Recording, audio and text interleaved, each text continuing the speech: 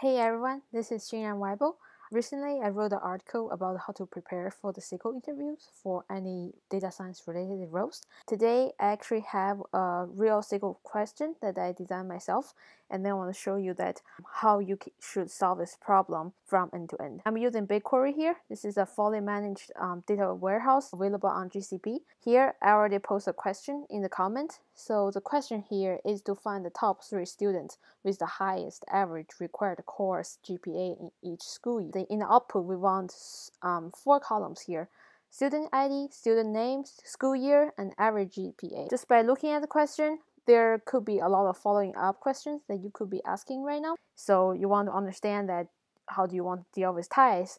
Do you want exactly two or you want to include the ties as well? Next steps, uh, you would want to take a closer look at the sample data before you start write your solution. So here I can see I have a GPA history table. The granularity of the table is that per student, per class, per school year. Then it also labeled whether that class is required for that specific student. And then we can take a look at the other table, the student table. So the student table is a dimension table here, um, has a unique identifier ID and then also a name. In the GPA history table, there's a student ID 3 but in the student table it's not there.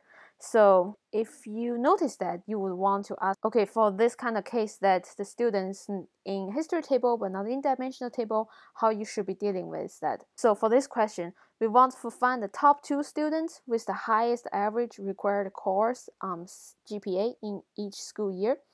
So in this case, um, I will split them into three steps here.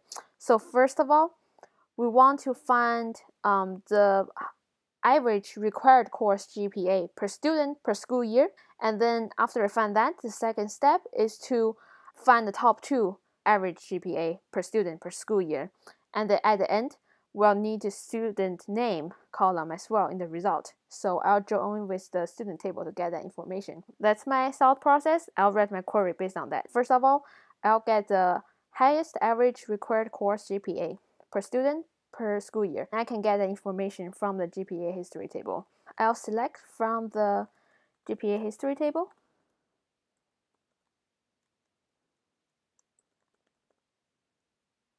Since I want the average of a column per other two column, this is a pretty strong hint that you want to use the group by function. So we want to group by student ID here and also the school year.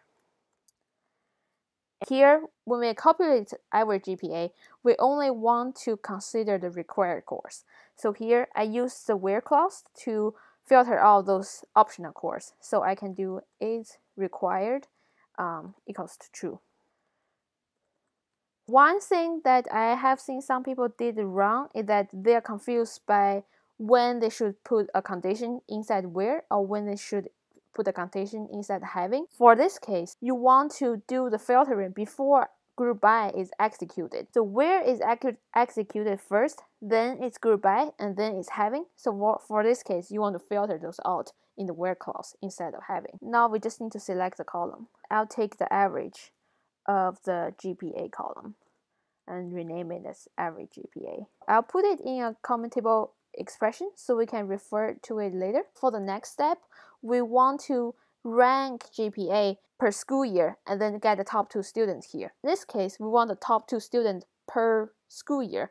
That is a strong hint that you need to use the ranking function here. Assume that my interviewer told just gave me exactly 2 at the end. In this case, I'll choose the row number function to do my ranking. I can select from the temp table. I want to create the row number here. Partition by school year here because we want to rank per school year. Then we want to order by the average GPA in a descending order. I'll give it a name, just call it the row number. Next step, I'll join the temporary table with the student table using the student ID. Now I just need to select the student name.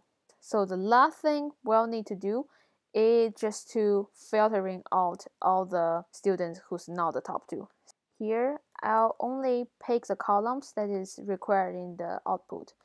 As I mentioned before, the student ID 3 is missing from student table, so we'll have null in the student name column here. If we want to prevent that null and then have something more readable in the result, we can use the if null function. Let's assume that person is not on the student list because it's graduated. So I'll just say, okay, graduated student. So let's run the query and then see how it looks like. I forget to put the filter for rank. So I'll just do rank smaller than 2.